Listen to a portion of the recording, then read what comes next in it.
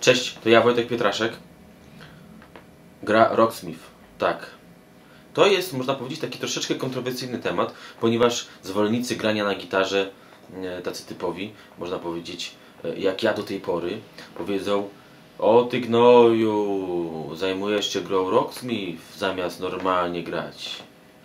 Przyznaję się, że e, szczerze powiedziawszy, przez dłuższy czas sam tak myślałem, do czasu, gdy nie doszedłem do wniosku, że w dzisiejszym świecie trudno jest oprzeć się pokusie grania w gry, jakiekolwiek gry.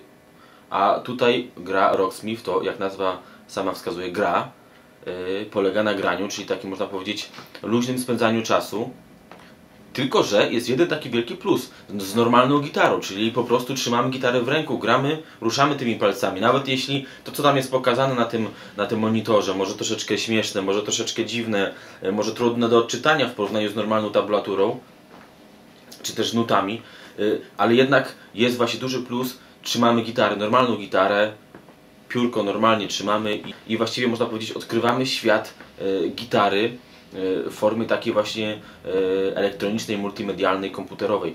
I z tego właśnie powodu też postanowiłem wprowadzić do siebie do sklepu grę Rocksmith. Tak, wszyscy, którzy chcą kupić grę Rocksmith, mogą oczywiście ją zakupić e, u mnie. No i dodatkowo też będę robił całą serię filmów związaną właśnie z tą, z tą grą. Oczywiście jakieś porady, jakieś pierdoły, jak będę sam grać, będę Wam pokazywał.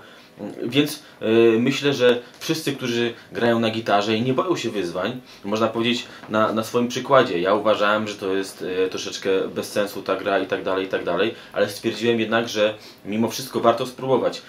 Zachęcam wszystkich jeszcze raz do yy, przygotowania się na zakupienie gry Rocksmith. Już niedługo w sklepie Rockday, już niedługo na kanale będziemy działać i będziemy kombinować z tą grą. Na razie papatki!